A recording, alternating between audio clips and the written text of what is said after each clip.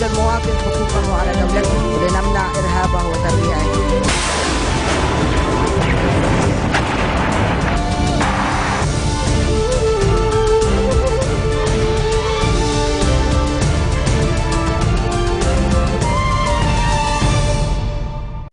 الثالثة بعد الظهر بتوقيت بيروت تتابعون من الميدان من تلفزيون مستقبل وفي العناوين. رئيس الجمهورية يؤكد أن الظرف الراهن لا يسمح بإجراء تعديلات ميثاقية ويقول لا يحق لأي منا تعطيل استحقاق الحكومة. الجيش الحر يواصل تقدمه في ريف حلب الغربي وقذف عنيف لكتائب الأسد على الريف الدمشقي. تظاهرات للإخوان أمام السفارة الأمريكية في القاهرة واستمرار الهجمات على القوات المسلحة في سيناء. وفي النشرة تتابعون في الرياضة. نطلب من الاتحاد أنه يستقيل. بدهم عدو المنتخب اللبناني لكرة السلة يصل إلى بيروت ويطالب الاتحاد بالاستقالة ويحذر. أهلا بكم. بعد أقل من 24 ساعة على كلام الأمين العام لحزب الله السيد حسن نصر الله الداعي إلى الحوار بين مختلف الأطراف أطلق النائب عن حزب الله علي فياض تحذيرا من أن يفكر البعض في أن يستبدل حكومة تصريف الأعمال بحكومة تصريف أعمال أخرى لأن هذا سيشكل انتكاسة في المسار السياسي. ووضع خلال إفطار رمضاني في الخيام ثلاثة مسارات للوضع في البلاد. إعادة إحياء أطر الحوار والتوافق على دعم الجيش اللبناني وتشكيل حكومة. في المقابل أكد رئيس الجمهورية ميشيل سليمان على ضرورة تكريس الجهد من أجل إقناع مختلف الأطراف بضرورة الالتزام قولا وفعلا بإعلان بعبدة وتكثيف عملية التشاور لتشكيل حكومة جديدة وقال لا يحق لأي منا تعطيل هذا الاستحقاق تحت وطأة رفع سقوف المطالب. سليمان وفي كلمته خلال حفل التخرج في جامعة القديس يوسف قال إن الحكمة والواقعية السياسية تقتضي المضي قدما في تطبيق كامل بنود اتفاق الطائف معتبرا أن الظرف الراهن ليس ظرف تعديلات ميثاقية أو إعادة تأسيس وتكوين بل مرحلة تحسين شروط الإدارة السليمة. إعادة جمع أطراف هيئة الحوار الوطني. للبحث بشكل مسؤول وجاد في أفضل السبل الكفيلة بخدمة مصلحة لبنان وإدارة شؤونه. وقد تقدمت العام الفائت من الهيئة بمشروع الإعلان الذي أقر وعرف بإعلان بعبدة وبتصور أولي لاستراتيجية دفاعية وطنية عمادها الجيش اللبناني.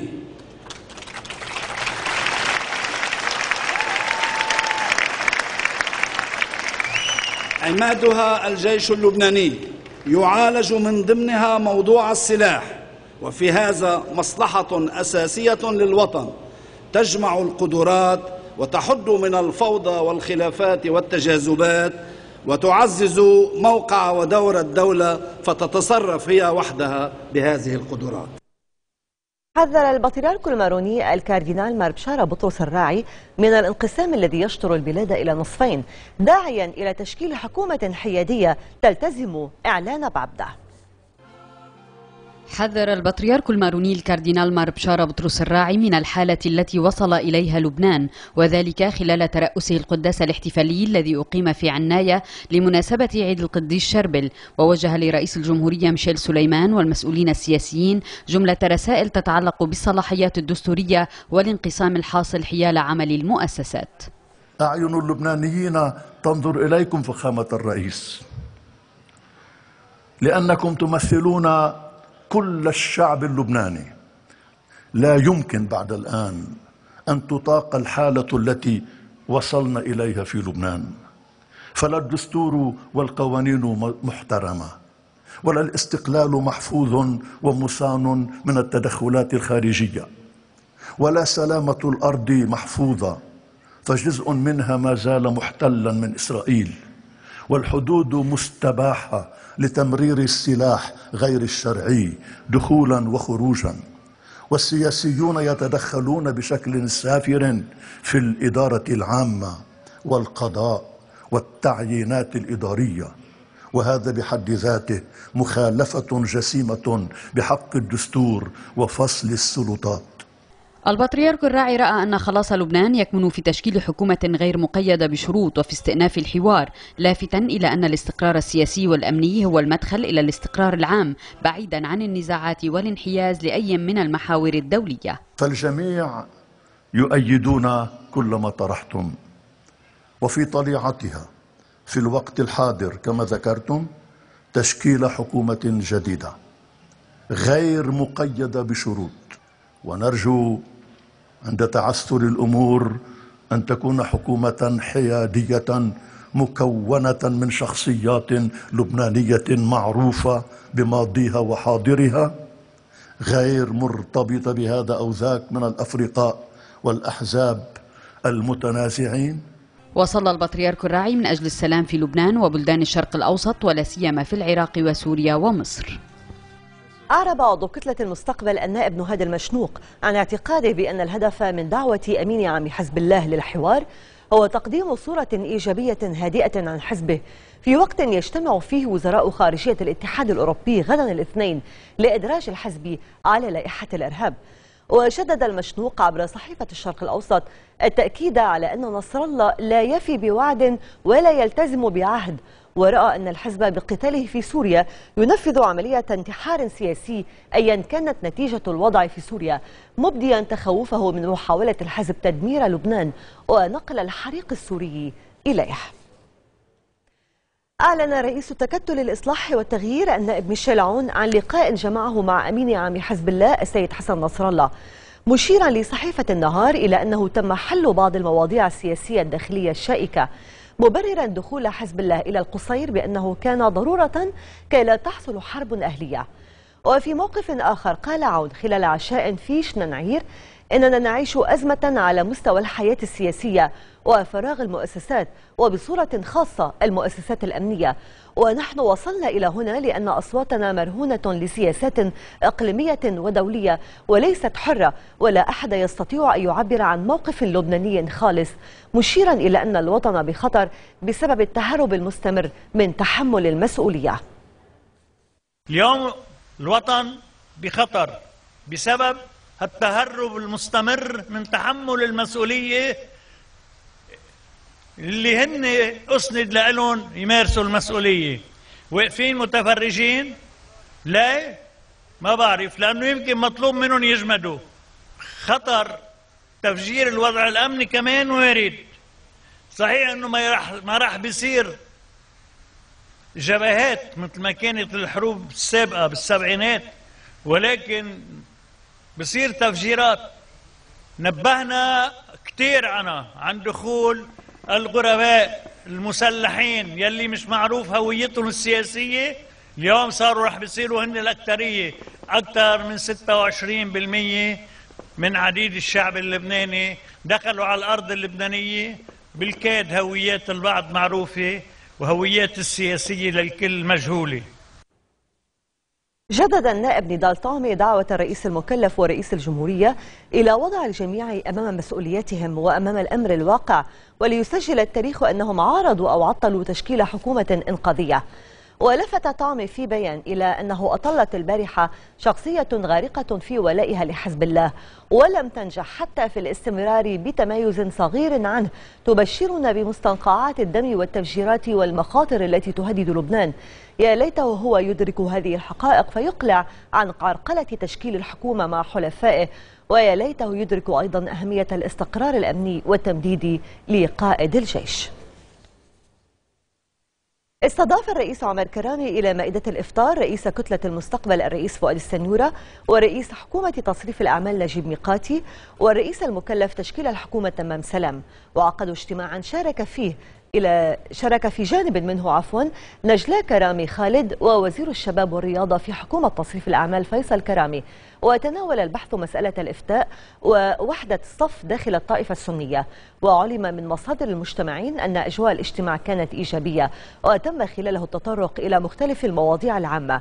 أما بالنسبة لموضوع دار الإفتاء فأكدت المصادر أنه تم الاتفاق على مجموعة من الخطوات التي سيتم تنفيذها. أكد عضو المكتب السياسي في تيار المستقبل مصطفى علوش في مداخلة مع برنامج كلام بيروت أن طاولة الحوار لن تنعقد من جديد إلا إذا كان هناك طروحات جدية من جانب حزب الله حول الاستراتيجية الدفاعية.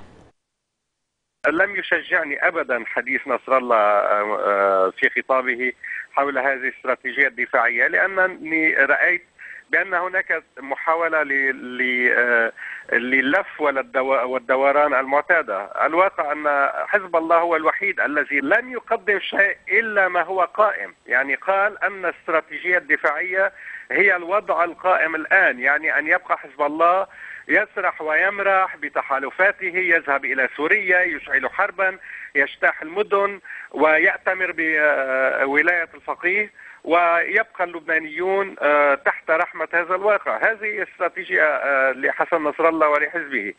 أما المطلوب فهو أن نذهب جميعا لوضع هذه العناصر كلها تحت أمرة الدولة. من جهتها استغربت كتلة النواب زحلي دعوة نصر الله إلى الحوار والالتقاء. فيما الآلاف من مقاتليه الذين ضرب بهم سياسة النأي بالنفس والتي اتفق عليها في بعبدة يستمرون بالقتال في الداخل السوري. ودعا النواب أمين عام حزب الله إلى خطوات فعلية تحدث صدمة إيجابية لدى الرأي العام اللبناني يكون بعدها الحوار والتلاقي خريطة طريق دائمة وليست مرحلة تكتيكية عندما ينحشر الحزب يرفع شعارها ليرمي الكرة عند الفريق الآخر. في الذكرى الأربعين على اغتيال مسؤول الطلاب في حزب الانتماء اللبناني هاشم السلمان أمام السفارة الإيرانية انتقد المستشار العام للحزب أحمد الأسعد عدم الوصول إلى نتيجة في التحقيق بسبب نفوذ حزب الله الأكبر من نفوذ الدولة. سأل المستشار العام لحزب الانتماء اللبناني أحمد الأسعد عن مصير التحقيق في جريمة اغتيال هاشم السلمان أمام السفارة الإيرانية بعد أربعين يوما على الجريمة. الأسعد كان يتحدث خلال مؤتمر صحافي بحضور عدد من أنصاره وأقرباء السلمان. هاشم تم إعدامه بوضح النهار. قدام كل العالم. وبالتالي كان في صور توزعت بشكل واسع جدا للمرتزقة وحتى للقاتل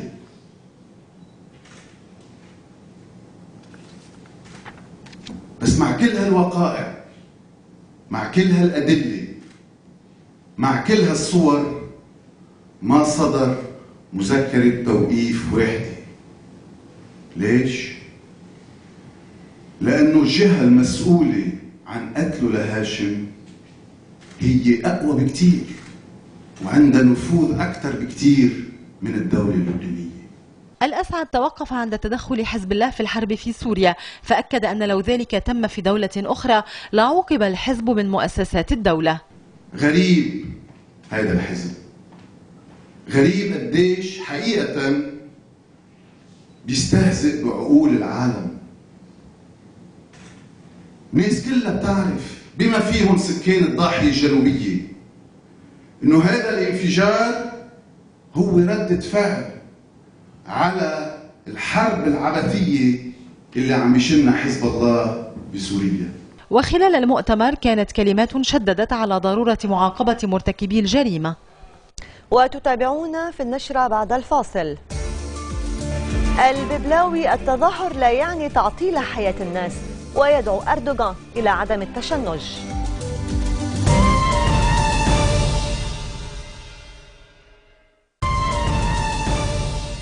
أهلا بكم من جديد. سقط أكثر من 30 شخصا بنيران كتائب الأسد التي صعدت عملياتها العسكرية في دمشق وحمص ودارت مواجهات مع الثوار. وكان بارزا اليوم إقدام حزب العمال الكردستاني على خطف أمير دولة العراق والشام الموالية للقاعدة ثم إطلاق سراحه بعد الاتفاق على إخلاء سبيل الأكراد المعتقلين لديه.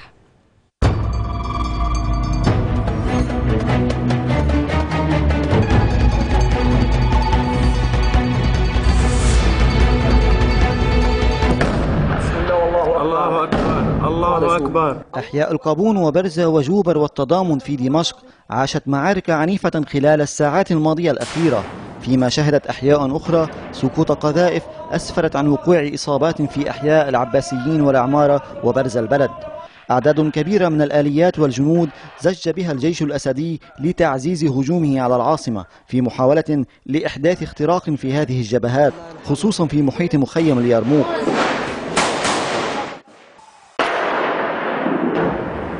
القصف العنيف بالمدفعية الثقيلة والصواريخ تجدد على الريف الدمشقي وتركز على دوما والمليحة والقلمون والغوطة وبيت سحم ومعظمية الشام وحرستة وسجلت مواجهات على جبهة دارية. وللأسبوع الثالث على التوالي حاولت عصابات الأسد اقتحام حي الوعر في حمص حيث تستخدم شتى أنواع الأسلحة المتوسطة والثقيلة ودكت بالمدفعية الثقيلة حيي باب هود وباب التركمان في حمص القديمة وتساقطت القذائف على الغنط والرستن وتلبيسة وحي الخالدي حيث شهد معارك طاحنة. أحياء دير الزور لم تسلم من بطش الشبيحة وانهالت القذائف على الحويقة ودارت اشتباكات عنيفة بين الجيشين الحر والأسدي على جبهتي الحويقة ومطار دير الزور العسكري.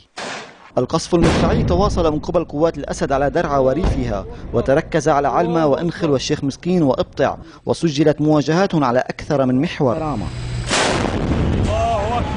وفي حماة أفادت الأخبار الواردة من هناك بأن عددا من القتلى سقطوا جراء القصف على صوران وحلفايا وعقرب ودارت معارك ضارية في كفر نبودة الطيران الحربي أغار على الأحياء المحررة في حلب واشتدت المعارك في خان العسل واستهدف الثوار فرع الأمن السياسي. وفي الرقة اندلعت اشتباكات بين قوات الجيش الحر وعناصر من حزب العمال الكردستاني الذين اعتقلوا أمير دولة العراق والشام الموالية للقاعدة ثم أطلقوا سراحه. وجرى الاتفاق على إطلاق سراح خلف الذياب الملقب بأبي مصعب مقابل سحب مقاتلي حزب الاتحاد الديمقراطي الكردي من تل أبيض وإطلاق سراح الأكراد. وللمزيد ينضم إلينا عبر السكايب الناطق باسم شبكة شام في دمشق وريفها مازن الشامي. مازن أهلا بك معنا. يبدو أن معظم أحياء دمشق وبلدات الريف أيضا فعلا تعيش معارك حقيقية. هل ما زالت حدة الاشتباكات على نفس الوتيرة؟ بالفعل هنادي لا زال القصف متواصل على عدة أحياء. وخاصة على القابون والجوبر والقدم ومخيم اليرموك الذي شهد الأخير اليوم منذ الصباح قصف بقذائف الهون على المخيم وذلك بمعدل ثلاث قذائف في الدقيقة مما أدى لسقوط شهيد والعديد من الجرحى بالتزامن مع اشتباكات في محاولة يعني من كتائب الأسد اقتحام الحي من محور شارع فلسطين والجيش الحر لا زال يصد هذه الاقتحامات مع وصول أكثر من أربع سيارات إسعاف محملين بجرحى كتائب الأسد إلى مشفى المجتهد وأنباء عن استهداف المخيم اليوم بالقذائف التي تحوي غازات سامة مع تسجيل العديد من من الحالات والأعراض يعني التي آه، لاحظناها هناك هي اغماء واقياء ومنذ قليل أبلغنا الزملاء المتواجدين هناك آه، إنه يوجد حالة تنزيف دم من الفم يعني الآن تم إغلاق يعني مداخل المخيم بالكامل نعم. بالإضافة لحي القابون الذي جرى فيه أيضا قصف الأسلحة الثقيلة وصواريخ الأرض أرض وتم استهداف آه، اليوم مسجد الشيخ جابر وذلك بالدبابات طبعا بالتزامن مع اشتباكات أيضا من عدة محاور مما أدى لسقوط شهيد والعديد من الجرحى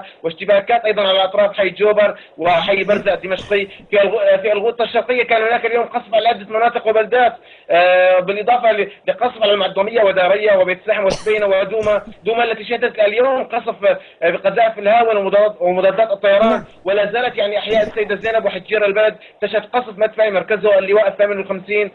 آه، والطيران تستهدف بلدتي السحل ورأس المعرة واقتصرت الأضرار على الماديات بالإضافة نعم إلى مزارع حي الصالحية وأول منطقة ريما فيما لا تزال المعظمية ودارية تخصف بالمدفعية الثقيلة وراجمات الصواريخ نعم. شكرا لك مازن الشامي الناطق باسم شبكة شام في دمشق وريفها على هذه المعلومات.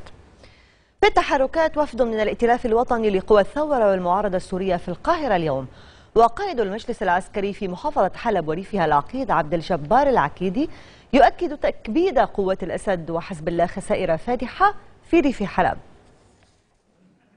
على وقع وتيرة المعارك المحتدمة بين النظام السوري وقوات المعارضة يزور رئيس الائتلاف الوطني أحمد الجرب القاهرة على رأس وفد لبحث الوضع السوري. ومن المقرر أن يلتقي الجرب عددا من المسؤولين المصريين بينهم وزير الخارجية نبيل فهمي وعدد من مسؤولي جامعة الدول العربية وبعض شخصيات المعارضة السورية التي تقيم في مصر. وكان الجرب أعلن أن الأولوية في الوقت الحالي هي لتأمين السلاح النوعي لمقاتلي المعارضة السورية. وفي المقابل وضع عدد من الخبراء والمحامين الأكراد مسودة دستور إدارة مؤقتة لغرب كردستان للمناقشة بين الأحزاب الكردية والعربية سعيا إلى صيغة تعرض في استفتاء عام في مناطق ذات أغلبية كردية في سوريا. وتتضمن المسودة تشكيل حكومة الإدارة الذاتية الديمقراطية. وتضم 21 وزارة بينها الدفاع والمال والداخلية لكنها لا تشمل وزارة الخارجية. وتقترح تحديد علم وشعار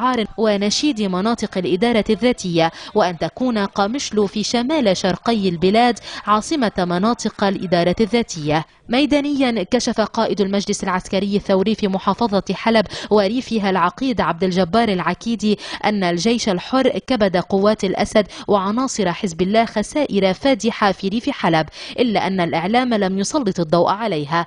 العكيدي وفي حديث إلى صحيفة العكاظ السعودية أبدى ثقته بصمود الجيش السوري الحر خلال معاركه في حمص لافتا إلى أن السلاح الذي يتحدث عنه الإعلام ليس بالصورة التي يروج لها. على صعيد آخر أبدت المرجعية الشيعية في النجف برئاسة آية الله علي السيستاني رفضها ذهاب المتطوعين الشيعة إلى سوريا للقتال في حرب تعتبرها سياسية وليست مذهبية. واعتبر رجل دين شيعي كبير يدير مكتب أحد المراجع الأربعة الكبار في النجف. إن الذين يذهبون للقتال في سوريا يعصون أوامر المرجعية. وترى مراجع نجفية إن سوريا بالنسبة للمرشد الأعلى الإيراني علي خامنئي ومريديه في العراق وإيران حلقة مهمة في هلال شيعي يمتد من طهران إلى بيروت مرورا ببغداد ودمشق. في الشأن المصري جماعة الإخوان المسلمين في مصر تواصل التصعيد وتدعو لتظاهرات جديدة اليوم وأعمال العنف ضد القوات المسلحة في سيناء مستمرة.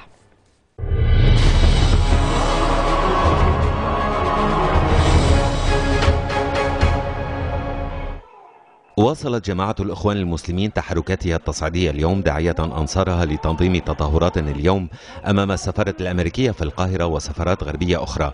ونشر التحالف الوطني لدعم الشرعية ورفض الانقلاب بيانا حدد فيه أهدافه من تظاهرات اليوم ومنها فضح دور السفارة والإدارة الأمريكية في ترتيب ودعم الانقلاب العسكري على الديمقراطية وللمطالبة بطرد السفيرة الأمريكية حسب ما جاء في البيان. كما حددت مسيرات نسائية من مسجد النور في العباسية إلى مقر وزارة الدفاع وإلى مقر المجلس القومي لحقوق الإنسان للمطالبة بحماية المتظاهرات. وأكد التحالف في ختام بيانه استمراره في مشاركة الشعب في نضاله لاستعادة حريته المسلوبة ورفض الانقلاب العسكري الدموي حتى تحقيق أهداف ثورة يناير. إلى ذلك سادت حالة من الهدوء التام أرجاء ميدان التحرير مع استمرار إغلاق جميع المداخل بالحواجز الحديدية والأسلاك الشائكة. وعمد أفراد اللجان الشعبية إلى إغلاق مدخل كوبري قصر النيل وعبد المنعم رياض لتأمينهما. ميدانيا هاجم مسلحون في الساعات الأولى من صباح اليوم معسكرا للجيش المصري في الساحة الشعبية بمدينة رفح حيث دارت اشتباكات بين الجيش والمسلحين لم تسفر عن وقوع أي إصابات بين الطرفين. وفي الوقت ذاته هاجم مسلحون مركزا بين مدينتي الشيخ زويد والعريش بالأسلحة النارية. سياسيا تبدأ لجنة خبراء القانون التي عينها الرئيس المؤقت عدلي منصور عملها اليوم لإدخال تعديلات على الدستور المعطل منذ أن عزل محمد مرسي من منصبه كرئيس للبلاد في بداية الشهر الجاري. وأمام اللجنة مهلة 30 يوما لصياغة التعديلات بما يمهد الطريق لإجراء انتخابات تشريعية ورئاسية جديدة. والوضع المصري ما زال يستحوذ على اهتمام تركيا حيث أجرى وزير الخارجية التركية أحمد داوود أوغلو اتصالا هاتفيا بالممثلة العليا للشؤون الخارجية والأمن في الاتحاد الأوروبي كاترين أشتون لبحث تطورات الأوضاع في مصر لا سيما نتائج زيارة أشتون إلى القاهرة.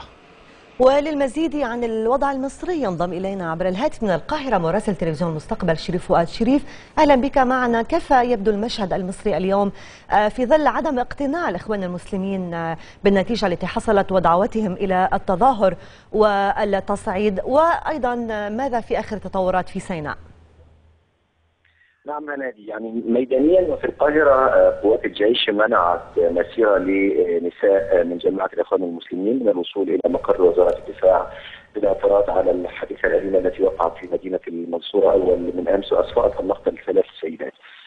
هناك كثير من التحليلات الآن والجميع يطالب بانتظار نتائج التحقيقات في هذه الواقعة على الرغم من إدانتها واعتبارها يعني جريمة نكراء لا تتسم وأخلاقيات المصريين آه، لأن البعض يشير بأصابع الاتهام إلى جماعة الإخوان المسلمين آه، إلى أنها ربما تكون قد دبرت هذه الواقعة لإثارة نوع من الاستعطاف ولتوريط مؤسسات الدولة المختلفة في هذا الأمر.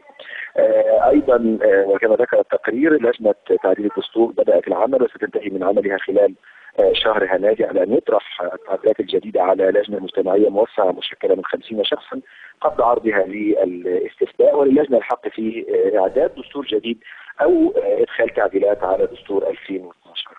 آه، هناك أيضا ما يتعلق بالحالة الاقتصادية والسياسية، البنك المركزي اليوم أعلن عن وصول دفعة آه، من آه، السعودية تبلغ آه، 2 مليار دولار آه، كوديعة لمدة خمس سنوات في البنك المركزي المصري ما يعزز الاحتياطي النقدي آه، العملة الأجنبية وبالتالي آه، يخف الضغط عن العملة المحلية إلى حد آه، نعم. كبير.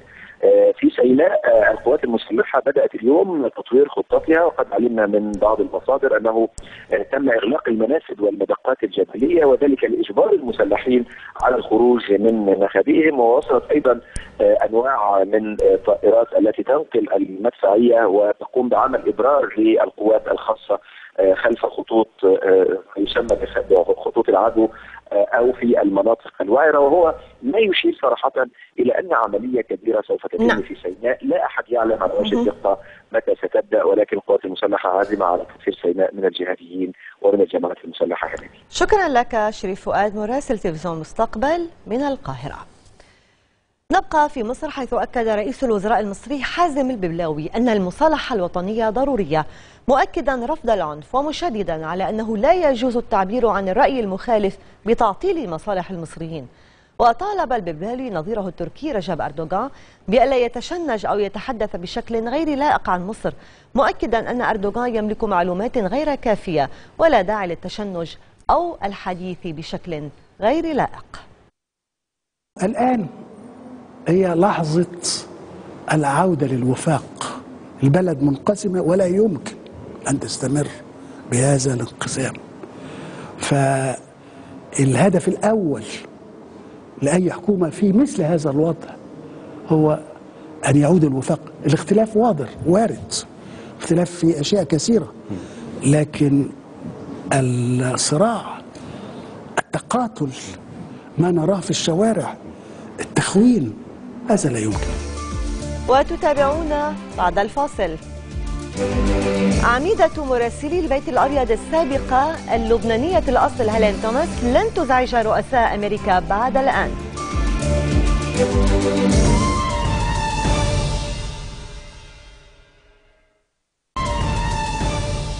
أهلا بكم من جديد إلى نشرة من الميدان وقد تابعتم فيها. رئيس الجمهورية يؤكد أن الظرف الراهن لا يسمح بإجراء تعديلات ميثاقية ويقول لا يحق لأي منا تعطيل استحقاق الحكومة. الجيش الحر يواصل تقدمه في ريف حلب الغربي وقصف عنيف لكتائب الأسد على الريف الدمشقي. تظاهرات للإخوان أمام السفارة الأمريكية في القاهرة واستمرار الهجمات على القوات المسلحة في سيناء. أهلا بكم. قتل 65 شخصا وأصيب نحو 200 آخرين في سلسلة انفجارات بسيارات مفخخة هزت بغداد. ووقع الانفجار الأكثر دموية في حي الطوبجي شمالي العاصمة. وانفجرت سيارة ملغومة أخرى في شارع تجاري في حي الكرادة. كما وقعت انفجارات أخرى في الزعفرانية والمواصلات والشرطة وبغداد الجديدة.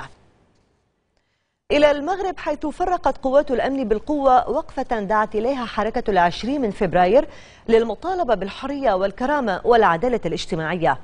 وطالبت قوات الأمن عددا من المنتسبين إلى حركة عشرين فبراير بإفراغ ساحة باب الأحد والسرابات قبل أن تقوم بدفع عدد منهم لإجبارهم على إخلاء الساحة بالقوة.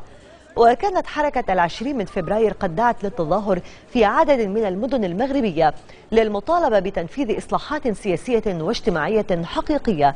في وقت أعلن فيه عن تأسيس حركة تمرد المغربية التي تطالب بإسقاط الحكومة الحالية التي يقودها حزب العدالة والتنمية الإسلامي. توفيت كبيرة مراسلي البيت الأبيض المخضرمة هيلين توماس التي تتحدر من مدينة طرابلس اللبنانية عن عمر يناهز 93 عاما. وتولت توماس التغطية الصحفية لعشرة رؤساء أمريكيين على مدى نصف قرن. كما كانت أول امرأة عضو في نادي الصحافة القومي وأول امرأة عضو ورئيس لجمعية مراسلي البيت الأبيض. في حزيران الماضي اضطرت للاستقالة من العمل في البيت الأبيض بعدما أثارت جدلا واسعا بفعل تصريحات طالبت فيها الإسرائيليين بالخروج من فلسطين والعودة من حيث أتوا. أكد الرئيس الإسرائيلي شيمون بيريز خلال اتصال هاتفي مع رئيس السلطة الفلسطينية محمود عباس أنه لا بديل عن السلام للجانبين الفلسطيني والإسرائيلي مشيرا إلى أن حركة حماس تجلب الدمار والأسى فقط للشعب الفلسطيني حسب تعبيره.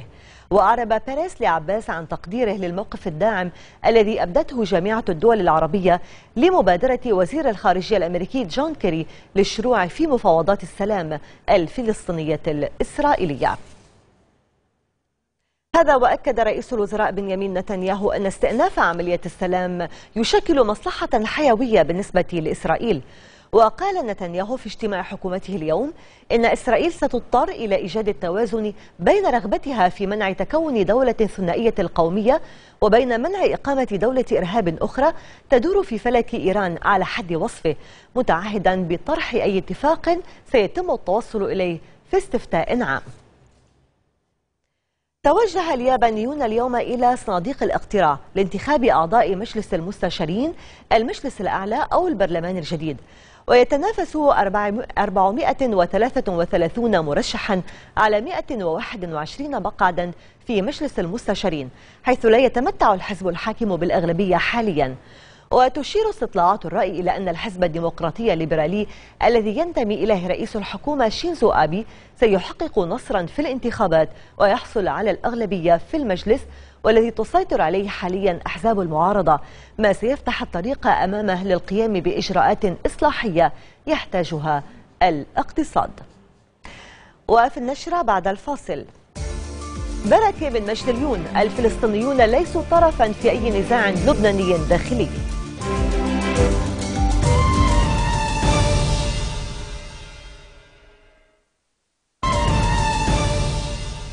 بكم مشاهدينا الكرام من جديد. أكد ممثل حركة حماس في لبنان علي بركي أن الفلسطينيين في لبنان لا يكونوا إلا عامل استقرار وأنهم ليسوا طرفا في أي نزاع لبناني داخلي. وقال بركي بعد لقاء في مجدليون النائب بهي الحريري يرافقه وفد من حماس قال لن نسمح أن تكون مخيماتنا صندوق بريد لأحد ونحن حريصون على منع حصول أي فتنة مذهبية في لبنان. ضرورة الحذر من الإشاعات المغرضة التي نسمعها بين الحين والآخر عن محاولات لتوتير الأوضاع في التعمير أو في مخيم عين الحلوة. نحن أيدينا ممدودة لجميع القوى اللبنانية وللجيش اللبناني من أجل منع أي توتير جديد في المنطقة لأننا نعتقد أن أمن صيدا من أمن المخيمات وهذا الأمن والاستقرار هو مصلحة فلسطينية لبنانية. نحن نحرص عليها و بالطبع سنعمل مع الفصائل الفلسطينية الوطنية والإسلامية لضبط الأوضاع في المخيمات ومنع استخدام المخيمات لضرب السلم الأهلي في لبنان. من جهة أخرى وصل اليوم إلى مطار رفيق الحرير الدولي وفد فلسطيني ضم وزير شؤون اللاجئين والمهاجرين الفلسطينيين زكريا الآغا ووزير العمل الفلسطيني أحمد مجدلاني قادمين من عمان في إطار زيارة إلى لبنان سيلتقيان آه، بعض المسؤولين اللبنانيين خلال هذه الزيارة كما سيتفقدان المخيمات الفلسطينية. تورط حزب الله في أحداث عبرة كان محور تقرير مفصل أعدته المؤسسة اللبنانية للديمقراطية وحقوق الإنسان لايف والذي اعتبرته بمثابة إخبار للنيابة العامة. التقرير لربيع شنطف. بعد نشر صور وشهادات للمواطنين تؤكد مشاركة حزب الله بمعارك عبره لم يعد السؤال المطروح هل شارك الحزب في المعارك أم لا. إنما بات السؤال الذي تطرحه أكثر من منظمة حقوقية محلية ودولية هل أن المشاركة كانت منسقة مع الجيش اللبناني؟ وإن كانت الإجابة بالنفي لما لم يتم التحقيق بالقضية حتى الآن؟ الناس اللي قابلناهم قالت أنه فاتوا لعنا عناصر غير نظامية تابعة لحزب الله. وصفوا لنا حتى الزي اللي كانوا لابسينه مواصفات وقالوا عرفوا عن نفسهم إنه هن من حزب الله.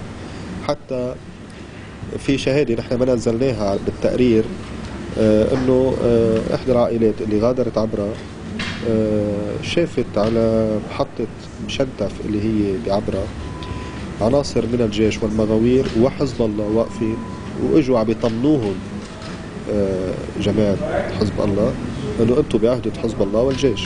وضع الرباط الأصفر على البدلات العسكرية شبيهة للجيش اللبناني على ما يبدو يعني تحتاج إلى تحقيق إذا كان هناك تنسيق. هذا التقرير صار موجود بالإعلام مثل ما كثير عالم سمعته. يعني إخبار.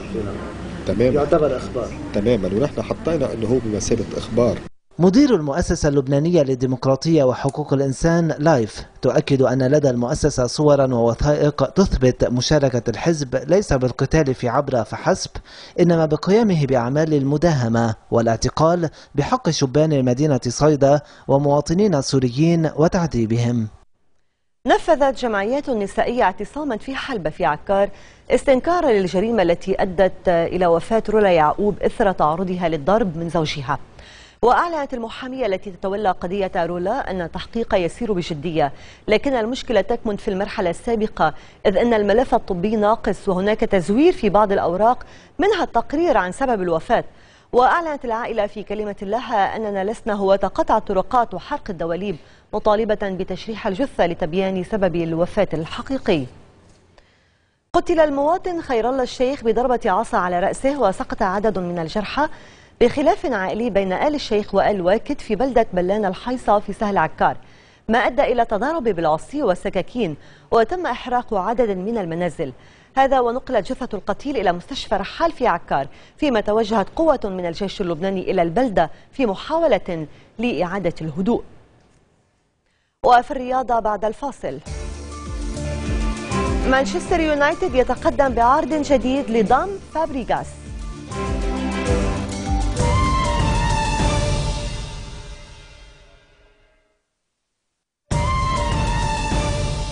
وإلى النشرة الرياضية مع هبه زيدان. مرحبا هبه مرحبا تفضلي. شكرا.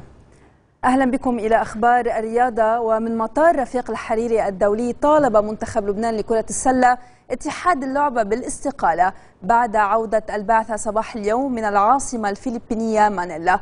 التفاصيل في التقرير التالي. أنا شخصيا باسم اللعيبة وباسمي من بعد هالمعاينات يلي عانيناها وشفنا لعبة الباسكت بول لوين وصلت بنطلب من الاتحاد أنه يستقيل. بدهم عدو. هي الرسالة إلى الوالي إذن.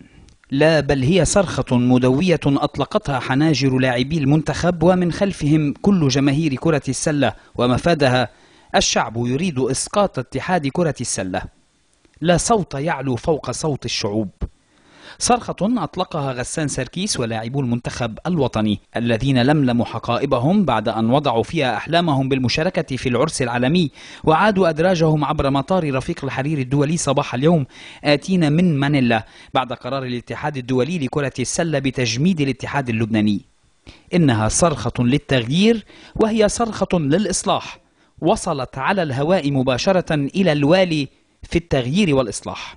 كنا متروكين. فيني اقولها بالعلن وبكل صراحة كنا متروكين. ما كان في تواصل معنا ابدا. باستثناء تواصل خجول جدا على الواتساب من رئيس الاتحاد. وكل ما يفوت على على الجروب بس حتى يعطينا وعود وتطلع وعود حبر على ورق وما يتنفذ منا شيء. استعملت ورقة الفيبا للضغط على الأندية. يعني دخلوا بصراع مع أندية والأندية منا راضيه أصلا قبل ما نوصل لقرار الفيبا. استعمل للضغط على هالأندية لحتى يمكن يركعوها أو ياخذوا منها تنازلات أو ما إلى هنالك. كنا عم نستعمل وقود بحرب بدل ما يكونوا كلهم عم يدعمونا لحتى نحل المشكلة. كان في حط عصي بالدوليب عصي بالدوليب لحتى منتخب لبنان وصل إلى ما وصل إليه ورجعنا من هونيك عن جد مثل العسكر المكسور. ما فينا نكفي باتحادات ما بيعرفوا شو هي مصلحة اللعبة. اتحادات هوات عم بيديروا لعبة صارت كتير محترفة وكتير مهمة وبتطلع وبتنزل نواب ووزراء هيدي اللعبة. أنا عم أقول لكم جمهور ال basket كله موحد ورا لعبة ال basket بكل لبنان. الشغلة الثانية ينتخب اتحاد جديد بس بغير طبخة. طبخة البحص ما حتزبط. يعني اليوم بنفل الاعضاء وبنغربلهم وبنشوف مين إذا صار هالمشكلة وين بيوقف ومين هذا. وين بيوقف. هيدي الطريقة غلط بكل محبة عم نقولها. بدنا اتحاد يوحي بالثقة بدنا اتحاد ما يكون في عنده مشاكل مع حدا. الأندية ليه بتاخذ موقف من الاتحاد لأنه بيكون طريقة إداء الاتحاد خاطئة. إذا الأمور كلها مزبوطه وكل شيء ماشي تمام ليه بده يكون في أندية زعلانة. بدنا إصلاح بدنا إصلاح بلعبة الباسكتبول ابتداء من بكرة. السنة الماضية النادي الرياضي اعتبر حاله انظلم. إذا معه حق أو ما معه حق خلصت البطولة كملناها. وقبلها في سنين نحن حسينا حالنا انظلمنا وغير أندية حست حالها انظلمت. هيدا بيرجع لتقييم النادي لجهازه الفني للأشياء اللي عم يعملها. بس بالنهاية عيب تتوقف بطولة عيب تتأجل بطولة عيب يتأجل game ما عم بفهم وزير الداخلية شو له معنا يأجل game نهار الاثنين هو اللي فوتنا بال بال بال بالمغليطة. لو أنا كنت محل روبير لو أنا كنت محل روبير كنت قلت له لا merci ال match بده يمشي وبسكر الخط لا ما له حق يأجله. سبب أمني يعني كذب. شونفيل بعمشيت في سبب أمني ما, ما تضحكوا علينا بشرفكم. يعني نحن منا المتحد مع احترامي لهم بخي وصلنا لمحل بدنا نشطب المتحد. ما ما صدقنا كيف صار عندنا سفير باسكتبول بالشمال. كلنا نحلم إنه بس تطلع شوي من المتن وكسروان وبيروت. صار عندنا بجبال صار عندنا بطرابلس. لازم نرجع نحيي الأنيبال ويطلع الدرجة الأولى. لازم اللعبة هي منتشرة تضلها تنتشر بكل لبنان. ما بدنا نجي نشطب نادي ونعاقب نادي وننزل النادي الرياضي على تخيلوا بطولة لبنان بلا النادي الرياضي. على أمل أن صاحب غسان سركيس نابليون يصل لحقيقة مفادها ليس له مكان في العائلة الرياضية وهي التي لا تحب إلا العمل الرياضي. فهل من يسمع ممن تبقى لهم ذرة من الحس الوطني؟ الأيام القليلة المقبلة ربما ستجيب عن هذا السؤال. دوليا تقدم مانشستر يونايتد الإنجليزي بعرض جديد لضم لاعب وسط برشلونة الإسباني سيسك فابريغاس وذلك بحسب ما ذكر موقع سكاي سبورت. ويأتي العرض الجديد المقدر بحوالي 35 مليون يورو إضافة إلى المكافآت رغم تأكيد النادي الكتالوني أن فابريغاس ليس للبيع ولن يترك كامب نو هذا الصيف.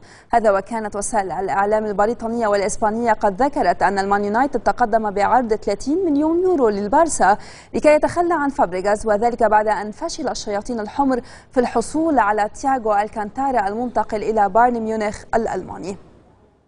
وجه تيتو فيلانوفا مدرب فريق برشلونة المستقيل الشكر للنادي الكتالوني ولمشجعيه بعد أن ترك المهمة لاستكمال رحلة العلاج من مرض السرطان. تيتو قال لقد وصلت إلى مرحلة تتطلب تغييرا في حياتي المهنية. إنني في حاجة لاستجماع القوة والطاقة لاستكمال رحلة التعافي من المرض التي بدأت قبل عام ونصف.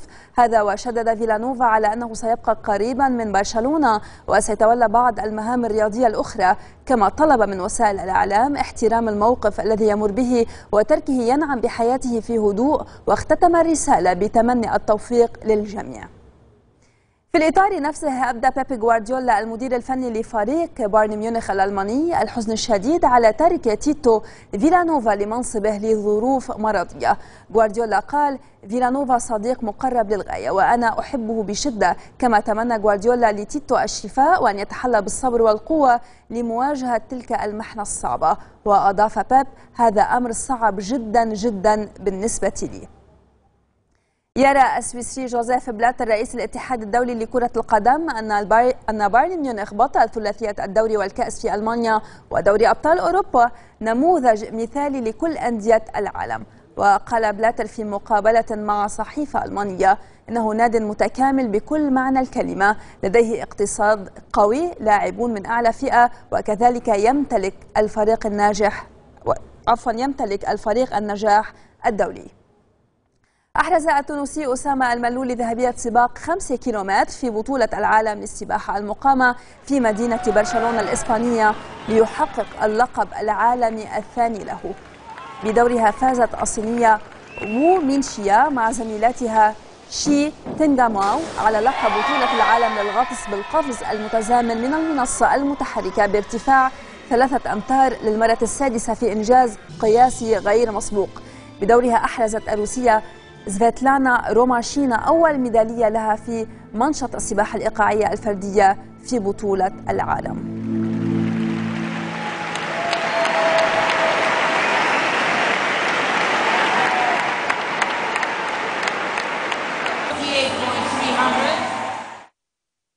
هذا كل شيء في الرياضة. شكرا للمتابعة وإلى اللقاء. ونصل إلى النشرة الجوية. طقس مستقر عم بيسيطر حاليا على أغلبية مناطق الحوض الشرقي للبحر الأبيض المتوسط. لليوم الأحد لفترة بعد الظهر الجو العام بلبنان مكمل صافي لقليل غيوم مع ضباب محلي للمرتفعات فترة بعد الظهر وعنا استقرار بدرجة الحرارة بمختلف المناطق اللبنانية. نسبة رطوبة أدناها 55 أقصاها 75% اتجاه رياح جنوبية غربية خلال النهار تتحول لجنوبية شرقية بالليل سرعتها بين ال 10 وال 35 كيلومتر بالساعة. حال البحر معتدل ارتفاع الموج حرارة سطح المي 29 درجة. أقصى درجة الحرارة المتوقعة تسجلها اليوم من طرابلس 32 31 بجبال 32 درجة بصيدا وصور و33 للعاصمة بيروت 31 درجة بالقرعون 32 بزحلة 30 لبيت الدين 25 بفقرة و22 درجة أقصاها للأرز.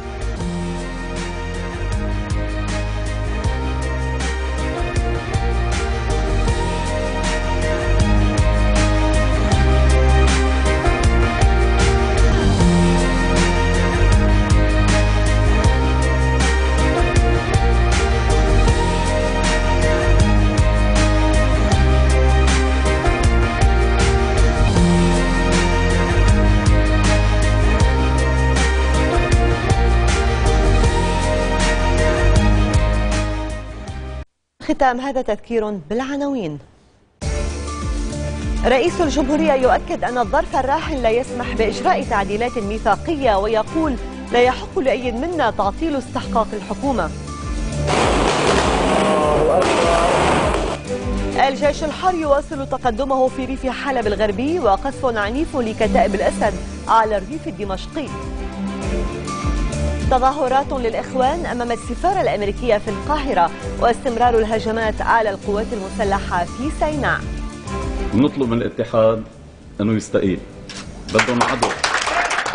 وكان في الرياضة المنتخب اللبناني لكرة السلة يصل إلى بيروت ويطالب الاتحاد بالاستقالة. نشكركم على طيب المتابعة. إلى اللقاء. لنعيد المواطن حقوقه على دولته ولنمنع إرهابه وتبييعه